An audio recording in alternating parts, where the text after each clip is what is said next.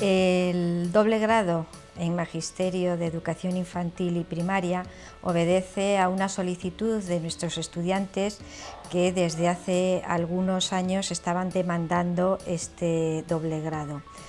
Un doble grado que para ellos supone por un lado, enriquecer su formación y por otro lado, incrementar sus eh, expectativas de, trabajo.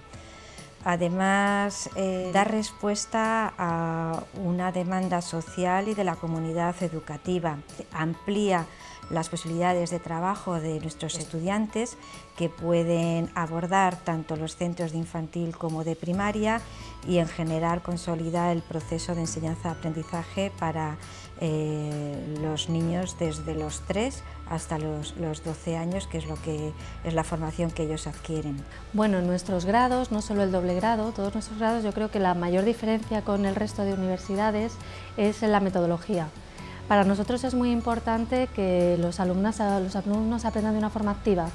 Entonces los profesores eh, intentamos trabajar mucho en programas de coordinación para tratar de generar proyectos donde los alumnos puedan aprender de una forma colaborativa, donde puedan conectar teoría y práctica, eh, no trabajamos tanto las metodologías que llevan a evaluaciones por examen, sino lo que queremos es que aprendan a aplicar los conocimientos que están aprendiendo, aprendan a reflexionar, aprendan a buscar información y sobre todo que desarrollen herramientas para después poder llevar a cabo su, trabajo como, como, maestro. En principio el doble grado creo que es de gran importancia eh, elegir esa, esa titulación, ya que las competencias que se adquieren son de ambas etapas educativas. Y el por qué elegir la UAH, creo que como, universidad, en específico esta facultad, eh, está muy bien enfocado en cómo tenemos que educar en un futuro, nosotros como futuros maestros.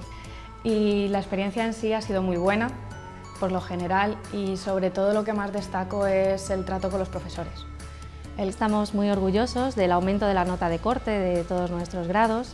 Pensamos que responde al esfuerzo de todas las partes, de toda la comunidad universitaria. Creemos que entre todos podemos mejorar la facultad y la subida de la nota de corte también muestra la importancia, ¿no? el debate que ahora está en auge en, en todos los medios sobre cómo revalorizar la profesión de los maestros y cómo los maestros son personas muy formadas, son personas que tienen una gran vocación por enseñar y por mejorar la sociedad.